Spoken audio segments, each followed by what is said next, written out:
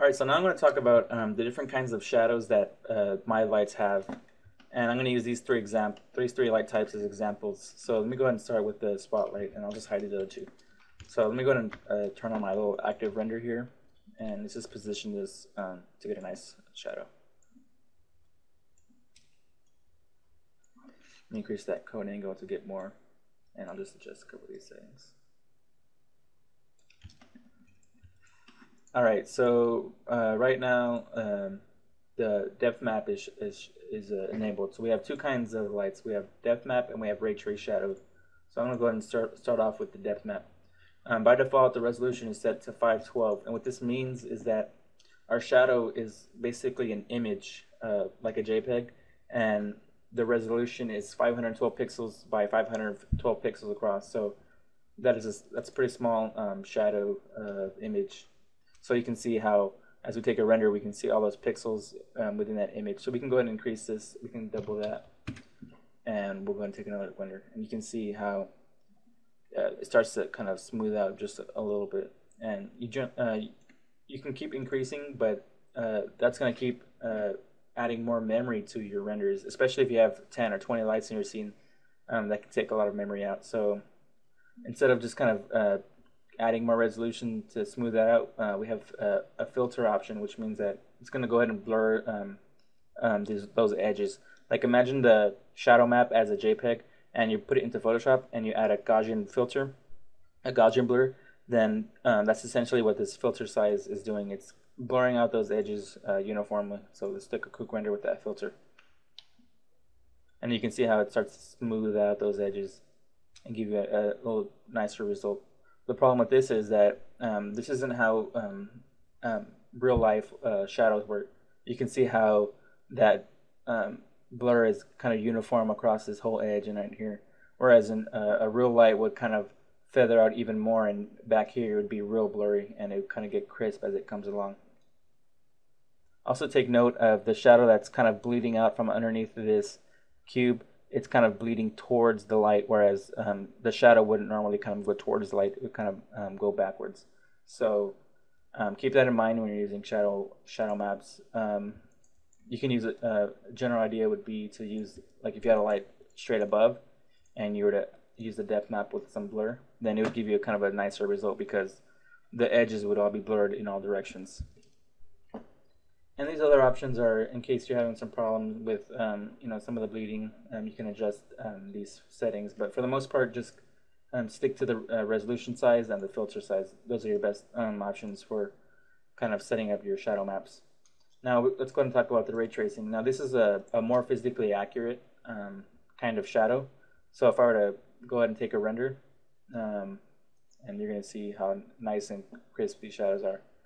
Uh, keep in mind that when you're using Maya software, you're going to have to go into your settings and go to this Maya software tab and go to ray tracing quality and make sure that this is uh, checkbox is checked on so that um, Maya software can render ray trace shadows.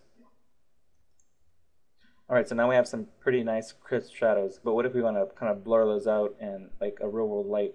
Um, this light radius option um, will help you kind of feather out those edges. So this works in units, so if we want the light radius to be uh, 5 units across, then we would put that to 5 light radius. It's, it's essentially a ball of, of, of light that is a 5 unit radius ball. So let's take a render. Let's save this out so we can compare and take a render. Alright, so you can see how those edges are starting to feather out, but they're trying to get real grainy. And so we need to increase our number of shadow rays because with one ray, it's it's pretty grainy. So let's go ahead and increase that to maybe like 20 rays and take a render. And you can start to see how our renders start to get um, pretty slow and you can see why ray tracing are pretty expensive. But they do produce a nice result. So you can see how these shadows are, are pretty nice, um, nicely smooth and pretty accurate. Um, so let's go ahead and uh, let me show you another example of if we were to put this uh, light uh, real low and, and have a low angle, let's take a render. Alright, so you can see how uh, we get a really nice result, how it's really blurred back here, and as, as we get towards that base, it gets real crisp, how a real light would work. So yeah, um, ray tracing is usually a higher quality um, shadow, but the trade-off is render time. Now, uh, Maya software can do ray trace shadows, but if we switch over to Mental Ray, um, this is primarily a ray tracing engine, so it's more optimized for um, ray trace shadows. So if I were to go and take a render with the Mental Ray render, you can see how much quicker this this render is. Now we are getting a little bit more graininess because it does handle these shadow rays differently, but you can see the result 11 seconds versus you know 44 seconds. is pretty close, and Mental Ray handles these ray trace shadows um, much better. All right, so I'm going to go ahead and switch over to uh, the next light. Um, I'm going to hide this one, and we'll turn on our directional light. And oops, we're going to turn on the shadows, and I want to show you an example of um, using depth map with our directional light. So if, if I were to take a render, right now it's set to 512 pixels, 512 pixels. Let me take a render.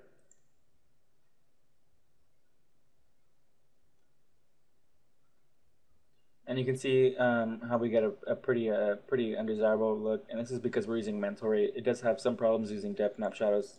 So let me switch over to Maya software and we'll take a depth map render. So you can see how this is kind of how what we would expect what we would expect from a low resolution and low filter size. But remember that um, the directional light covers the entire set. It doesn't. It's not confined to a single area. It lights everything in the scene. So with that uh, in mind, if we were to increase the scale of just this floor plane to a, a much higher um, size and we take a render,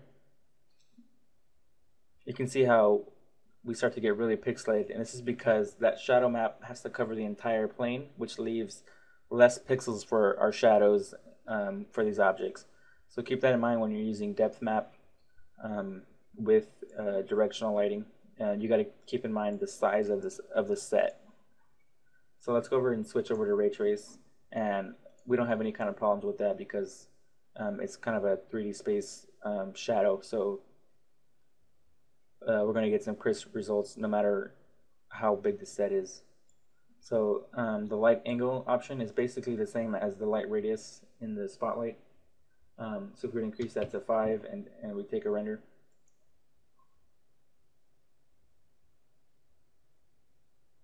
you can see how we're um, getting some nice uh, edge blur.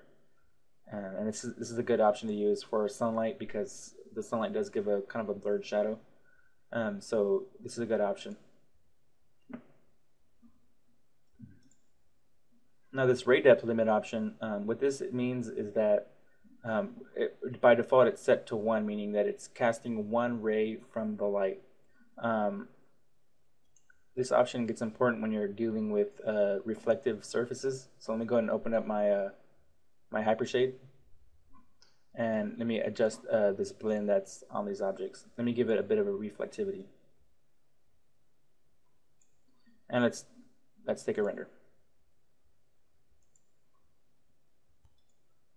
So you can see that we're getting some nice um, reflectivity in this in this material, but you'll notice that we don't see any of the, our shadows inside the reflections, and this is because of that ray depth limit. Um, it's set to one, so the only ray that is being cast is for shadows. But if you were to increase this to two, now um, the limit is higher, and we should be able to see those um, shadows within within our reflection.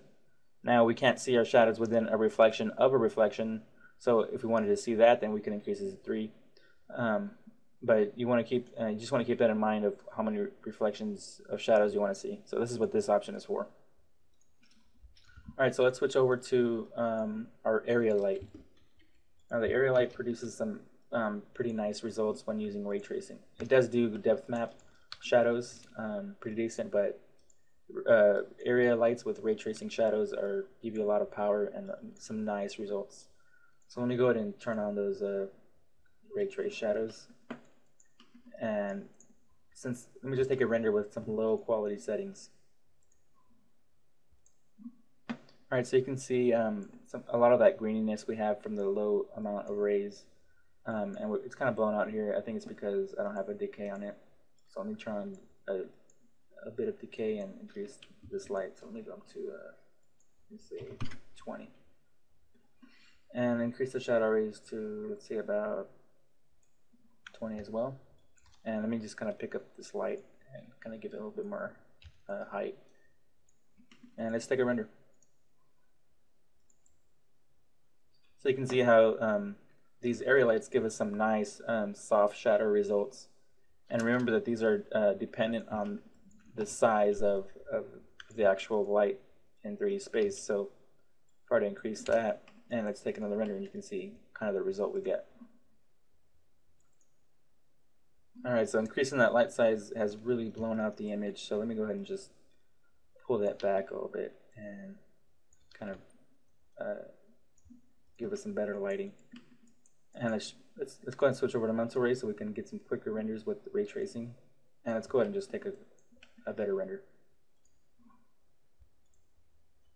So you can see we're getting some nice shadowing. We can increase those uh, shadow rays to get some um, better uh, better quality. But that's basically it as far as um, the different kinds of lights.